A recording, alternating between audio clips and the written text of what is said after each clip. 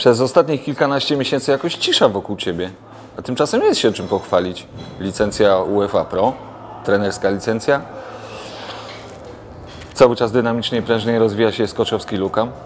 No rzeczywiście, mm, w ostatnim czasie sporo się działo. Yy, Być może media o tym aż tak bardzo nie hucznie nie pisały, natomiast skończyłem kurs e, UEFA Pro, który e, dosyć mocno mnie obciążał i, i czasowo, i, i finansowo też trzeba powiedzieć, bo to był dosyć e, długi i, i kosztowny kurs, ale chcę tutaj w tej, przy okazji powiedzieć, że bardzo wartościowy. Uważam, że e, sporo na tym kursie nabrałem doświadczeń, sporo wiedzy. Mogę powiedzieć, że jestem już zupełnie innym trenerem niż, niż byłem przed kursem i, i, i każdemu, który ma taką możliwość wzięcia udziału w takim kursie, to, to chętnie go polecam.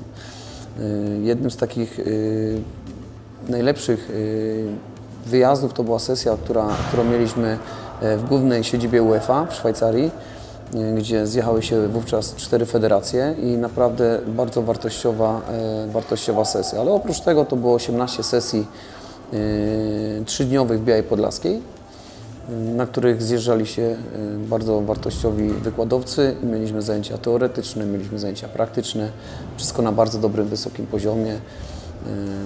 Do, tego, do tej sesji też, do, tych, do tego kursu UEFA Pro też należało odbyć staż zagraniczny. Ja swój staż odbyłem y, w Austrii, w FC Liefering, to jest druga drużyna Red Bulla. Także podsumowując to, naprawdę bardzo wartościowy y, kurs, jestem z niego bardzo zadowolony. Czyli działo się. Działo się, tak, działo się i myślę, że, i że będzie się działo. Tak. Ja jestem trenerem, który cały czas inwestuje w swoją wiedzę, e, w swoje doświadczenia e, i myślę, że one wkrótce będą procentować. A Chciałbym zapytać o Twoją rolę w sztabie szkoleniowym kadry do lat 20. No, dostałem telefon od trenera Darka Gęsiora, który zaproponował mi funkcję drugiego trenera. Nie musiałem się długo zastanawiać, bo, bo z Darkiem się doskonale znam. Wiadomo, że, że to jest bardzo taka no, praca, która będzie niosła za sobą bardzo dużo obowiązków, ale również z dużą dumą i, i taką, taką radością ją przyjąłem. Z, z rekordem wywalczyłeś awans do trzeciej ligi. Jesteś dość częstym gościem obiektu przy startowej 13. Ile dostrzegasz z tamtej ekipy, z tamtego ducha? Bardzo, y, bardzo często to może, może jest nie do końca dobre słowo, ale, ale od czasu do czasu pojawiam się w Cygańskim Lesie, y, darzę tą drużynę i ten klub dużą sympatią, y, kibicuję jej na co dzień i, i mam nadzieję, że, że wkrótce rekord będzie o kolejny poziom w rozgrywkach wyżej, bo, bo organizacyjnie jest do tego przygotowany. Jeżeli chodzi o zespół, to już jest zupełnie inny zespół, tak? Już dosyć chyba mało zawodników zostało z, y, z tamtej jedenastki, która wywalczyła historyczny awans do trzeciej ligi.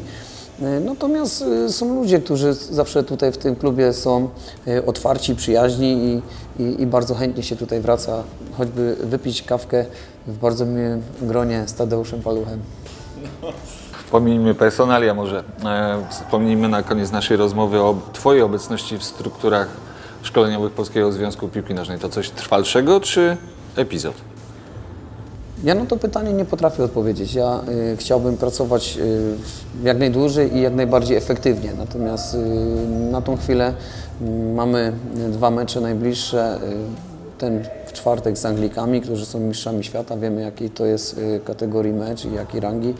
Następny jedziemy do Niemiec, gdzie, gdzie wiemy również, że Niemcy pokonali tych Anglików, y, tych mistrzów świata, więc obydwa są y, bardzo ważne. No, będziemy później oceniać sytuację z perspektywy czasu. W obydwu liczę na to, że, że pokażemy się wszyscy z bardzo dobrej strony. Zawodnicy są bardzo dobrze przygotowani.